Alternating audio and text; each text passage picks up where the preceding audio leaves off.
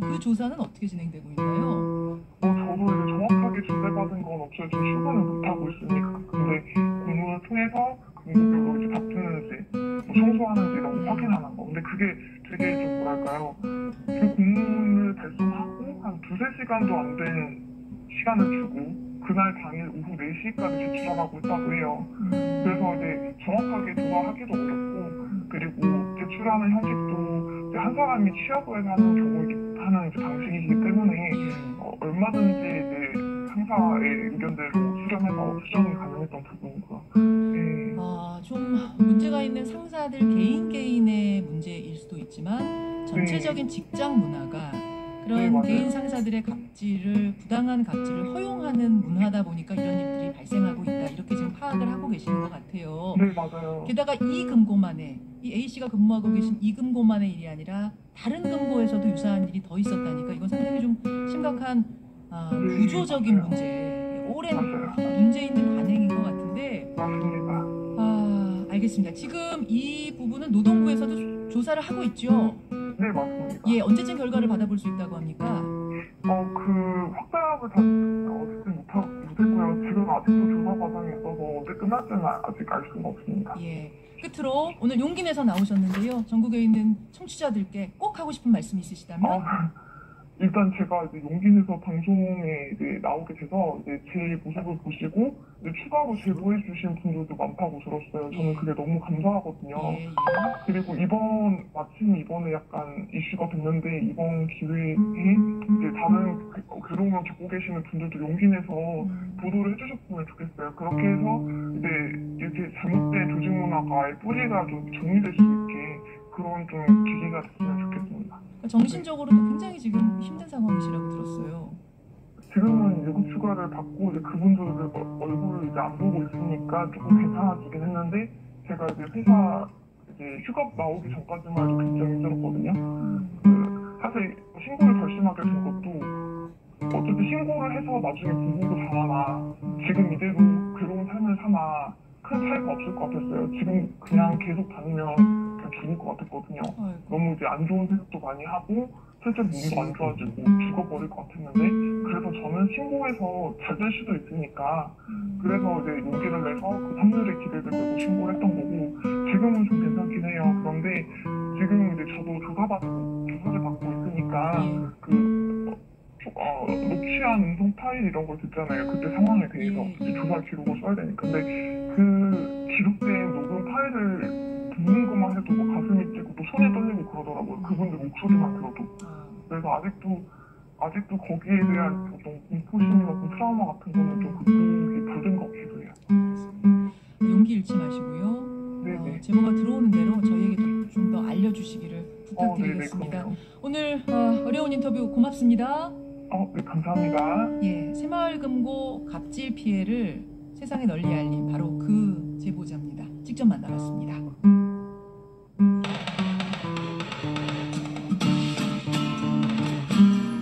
CBS 라디오 김현정의 뉴스 쇼.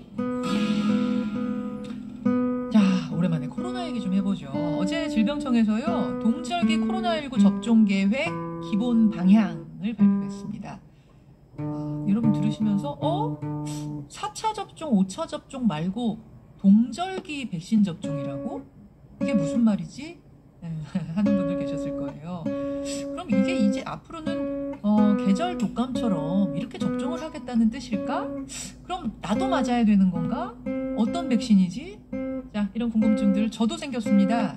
그래서 질병청 오늘 초대했습니다. 질병청 원근용 예방접종 관리팀장에게 궁금증 질문해보죠. 팀장님 나와 계세요. 네, 안녕하세요. 질병청 권근영입니다. 예, 고생 많으십니다.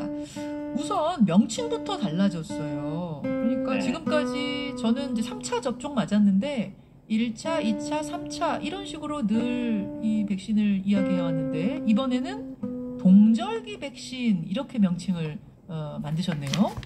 네네. 왜 그렇습니까? 그간의 접종은 이제 변이가 생기기 전에 바이러스로 만든 백신이었기 때문에 예. 그럼에도 불구하고 이제 변이를 대응해 왔어야 됐습니다. 그래서 차수를 어쩔 수 없이 늘려가는 형태로 접종을 해왔는데 음. 이제는 새로운 변이를 타겟으로 하는 백신이 어, 도입되기 때문에 기존의 어떤 차수를 누적해서 명명하기보다는 네. 우리가 이제 새로운 유행을 대비하기 위한 어떤 어, 기간을 기반 기간에 기반한 그러한 어, 백신의 형태, 접종의 형태로 어, 명칭을 바꿨습니다. 아, 이제 새로운 변이가 나타나는 것을 타겟팅한 그런 백신이기 네. 때문에 그냥 3차, 4차, 5차 이렇게 누적하는 방식이 아닌 아, 동절기 백신. 그럼 여름이 되면 하절기 백신 뭐 이렇게 하신단 말씀이네요? 네, 이제 앞으로 이제 우리 우리에게 다가올 새로운 어떤 유행을 대비하기 위한 예. 어, 백신 접종의 성격이기 때문에 아하. 어떠한 시기를 특정하는 형태로 일종의 전환한다는 의미가 되겠습니다. 독감, 독감 예방 주사가 그렇잖아요. 그 네, 비슷하다고 생각하면 됩니까? 네 비슷하다고 생각하시면 되고 우리가 매년 독감 백신을 맞지만 평생 동안 독감 백신을 몇 번 맞았는지는 헤아리지는 않습니다. 그것은 독감 백신의 그런 타겟 바이러스가 매년 달라지기 때문인데요. 네. 따라서 우리가 유행의 파도를 앞두고 어, 어떠한 시기에 백신을 접종하느냐 이 부분이 앞으로 어, 중요하리라고 보고 있습니다. 그럼 다시 2차, 3차 뭐 이런 차수는 안 붙이는 거예요. 어, 이 앞으로는 그러한 차수의 누적 개념보다는 예. 우리가 어떤 시기에 유행을 대비하기 위해서 어떤 시기에 접종을 하느냐 이 부분에 더 좀 더 초점을 맞출 계획입니다. 알겠습니다. 뭐 거의 뭐 계절 독감 백신 느낌이 나는데 네. 이번 그 이번에 맞게 되는 동절기 백신은 계량 백신이다, 이가 백신이다 이렇게 표현하더라고요. 이가, 예. 삼가 이런 거는 어, 그러니까 두 가지 이 형을 잡느냐, 세 가지 형을 잡느냐에 따라서 붙는 얘기잖아요. 네네. 그럼 이번에 이가 백신이라는 얘기는 두 가지를 잡을 수 있다 이런 건가요? 네, 이가 백신이라는 거는 두 가지 바이러스를 막을 수 있는 백신이라는 의미고, 예, 어, 초기 우한에서 시작되었던 그 코로나19 원형 바이러스와 예. 그 다음에 오미크론 변이 에서 발생했던 이제 BA1 오미크론 바이러스 두 가지를 어, 막을 수 있는 백신을 이가 백신이라고 하고 또 앞으로는 또 BA4, 5 백신을 또 겨냥한 백신까지도 이제 어, 통틀어서 2가 백신이라고 할 수 있겠습니다. 음, 기존의 3차 백신, 4차 백신하고는 완전 다른 건가요? 네, 기존에 우리가 계속해서 이제 1차, 2차, 3차, 4차 백신을 맞았던 것은 예. 오미크론 변이 바이러스를 어, 타깃으로 하지는 못했던 음, 그 초기 원형 바이러스만을 타깃으로 했던 백신입니다. 아, 원형 바이러스만을 타겟으로 하되 조금씩 더 발전했다 뭐 이렇게 보면 되는 거예요?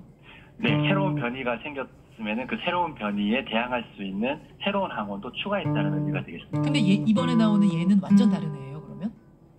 어, 이번에 나오는 애는 이제 초기 원형 바이러스의 항원도 가지고 있으면서 네.